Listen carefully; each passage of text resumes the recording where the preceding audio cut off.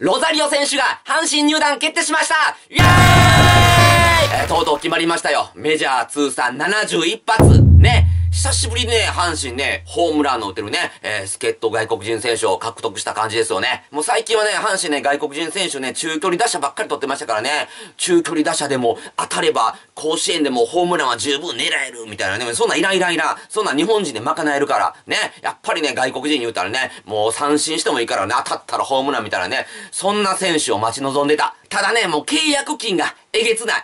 もうこういう時ってね、ちょっと怪しいんでね、えー、皆さんもご存知の通りね、えー、鳴り物入りで入ってきたね、阪神の外国人バッターってね、もう期待外れなんか多いでしょ？昔から。えー、まあ過去に何人もね、そういう外国人いましたけどもね、まず僕覚えてんのが、ロブディア。ね、2億7千万っていうね、すごい契約金で入ってきまして、メジャー通算226発、ね、すごいホームランをね、メジャーで打ってきて入ってきて、キャンプの時もですよ、すっごい飛ばすんですよ。めっちゃくちゃ飛ばすから、秋市営球場にね、特別ね、もうディアーネットっていうね、ネットをね、設置して、ホームラン打っても大丈夫なようにして、ほんで、いざペナントレース始まったらもう三振ばっかり。結局ね、ホームラン8本に終わりましたからね。ほんで、ついたあだ名が2億7千万の大型扇風機。もう最悪な外人でした、ロブ・ディアー。あとあかんかった外、外国人誰おったかな？あ、ケビン・マース。ね。マースって覚えてます？なんかバースに名前が似てるからって、マース、かっとばせマースってね、バースの応援歌が使われてたっていうね。えー、もうそれしか覚えてないんですけども。ケビン・マース。あと、ブロワーズとかもあかんかったな、ブロワーズ。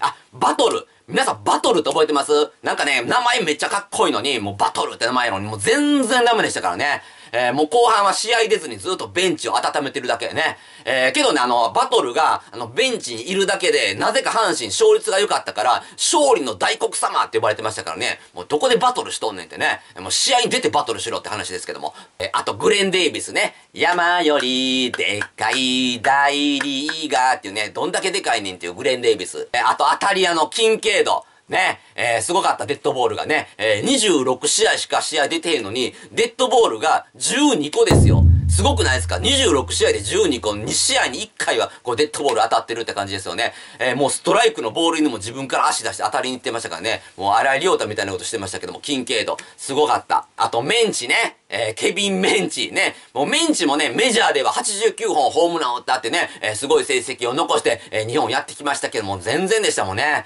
えー、なんか僕が覚えてんのは、なんかデイリースポーツに、メンチがメンチ切ったってね、ようわからん記事が載ったことぐらいですからね。もう何やったろうね、あれね。もうそれぐらいしか僕記憶ないですけども、メンチは。あと、ブルックス・コンラッドね。えー、コンラッド選手も、あの、デイリースポーツの記事がめっちゃ面白くて、普通ね、あの、新外国人選手が来た時って、ゲレーロ、とてつもないパワーだとか、待てよ、すすごく曲がるスライダーだとか書かれるんですけども、コンラッド面白いですよ。コンラッド、ええ人やんって書いてましたからね、ええ人やんってどういうことやそれ褒めるとこない時に使うやつや。ええ人やんってね、もう性格どうでもええねん。あと、ヘイグね、えー、平田コーチがヘイグー言ってましたけどね、どこがグーやねんっていう選手でしたよね。まあ、なんやかんや言いましたけども、えー、阪神の歴代助っ人外国人選手の中で、一番最悪やったんが、えー、皆さんご存知、えー、グリーンウェルですね。えー、まあ、グリーンウェルはね、皆さん、えー、いろいろ話知ってると思いますけども、えー、一応ね、えー、小学生、中学生の方も見てると思いますので、えー、わからないと思いますので、一応お話ししときます。まあ、グリーンウェル選手はね、当時はね、もうメジャーバリバリの選手で、えー、すごいバッターやったんですけども、その時に、えー、阪神が出した契約金が3億円。えー、当時阪神のね、球団最高額の3億円を出してね、えー、獲得しました。えー、まあ、獲得するにあたって、もう電光掲示板あるでしょ電光掲示板の名前のところが今までね、6文字しか入らなかったんですけども、グリーンウェル、グリーンウェル、こう7文字入れるためだけに電光掲示板を改修工事しました。すごいでしょグリーンウェルのためだけあの電光掲示板工事したんですよ。ほんで、グリーンウェルのために約ね、あの、家賃があの、200万円。200万円ぐらいの、まマンションの部屋を与えたんですけども、グリーンウェルが狭い言い出したんで、もう一部屋ね、隣に借りてあげたんですよ。ほんで壁を壊す工事をして、2部屋をグリーンウェルに与えるっていうね、もう VIP 扱いをしたんですけども、グリーンウェルね、キャンプの途中にね、背中が痛いって言ってアメリカに帰っていったんですよ。ね？ほんで、次ね、日本にやってきたんが、もうペナントレース始まって1ヶ月ぐらい経った5月3日、5月3日に日本にやってきて、5月11日に自打球を自分の足にバーン当てて骨折して、これは野球をやめろっていう神のお告げや言うてアメリカに帰っていきました。最悪でしょ？